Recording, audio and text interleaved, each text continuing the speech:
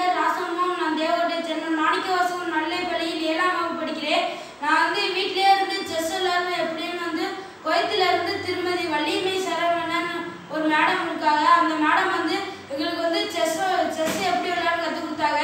அது வந்து chess coil உள்ள இங்கிலீஷ் பேர்லாம் சொல்லி கொடுத்தாங்க இங்கிலீஷ் பேர்லாம் சொல்லி கொடுத்த பிறகு அப்புறம் வந்து கேஸ்லிங் மூவ்னு சொல்றாங்க அந்த மூணு வந்து ரா- அந்த மூவ் வந்து ராஜா வந்து இருந்த இடத்துலயே இருந்தால் தான் இந்த கேஸ்லிங் மூவ் வந்து நகர்த்த முடியும் அப்படின்னு சொன்னாங்க அப்புறம் வந்து அது வேற இடத்துக்கு நகர்த்திட்டு திரும்ப இடத்துக்கு அதே இடத்துக்கு வந்து கேஸ்லிங் மூவ் வந்து நகர்த்தினா அது வந்து அது ஒத்துக்கப்படாது அப்படின்னு சொன்னாங்க அப்புறம் வந்து அந்த இது போர்டில் உள்ள கட்டத்துக்கு பேர் வந்து A one A two A three அப்புறம் வந்து B one B two B three அப்படின்னு சொன்னாங்க.